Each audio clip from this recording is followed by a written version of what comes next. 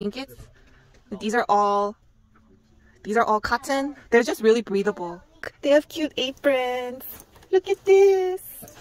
So cute. I think our Korean grandma would wear. Kids pillows and cute pillows. Like little whales.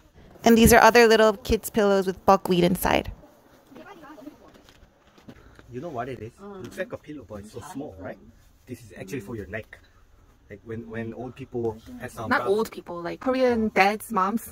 Korean when, they, when Korean parents have some neck hurt, neck they always go like they this, right? always go like this. Yeah. They go to get some massage or something, but they use this pillow to support their necks like this and sleep. Yes. And also they put this right between your legs when when they sleep during the summertime. Uh, there's so uh, well, ventilation. It's like organic cotton, gauzy cotton blanket. Look at this. It's so thin. This is for those people that are very, very don't even want to wear a blanket when in the in the summertime, but they still want one. You know what I mean? You know those people that just put the blanket on their stomach and stuff? Yeah, those kind of people. Good for those.